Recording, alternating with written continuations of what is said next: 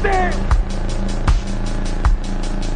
che ignorava la scrittura con la quale tramandare i documenti della propria vita in un tempo in cui Roma aveva Cesare, Virgilio ed Augusto.